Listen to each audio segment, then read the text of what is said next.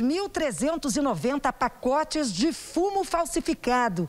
Uma carga avaliada em torno de 20 mil reais que estava à venda dentro de uma tabacaria do setor sudoeste aqui em Goiânia. A Polícia Militar, através do COD, desencadeou uma operação no intuito de averiguar supostas práticas de vendas de produtos para consumo em atacadistas.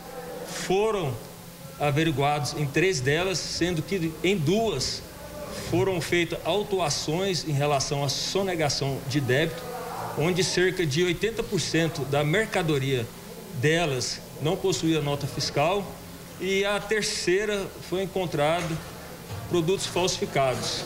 Teve uma pessoa conduzida, a pessoa responsável pela tabacaria, ela chegou a dizer algo para vocês? Ela vai responder?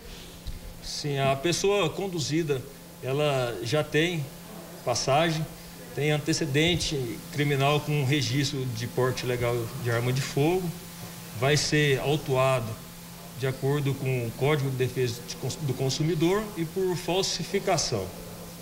Qual que é o perigo desse tipo de material? A gente fala de fumo, o fumo não, já não faz bem à saúde, mas é uma carga que não, não se sabe o que, que tem dentro daquele conteúdo. Exatamente, é um produto para consumo e, como tal, deveria passar é, pela vigilância sanitária. E, no caso, não se sabe a procedência, muito menos a qualidade do seu conteúdo.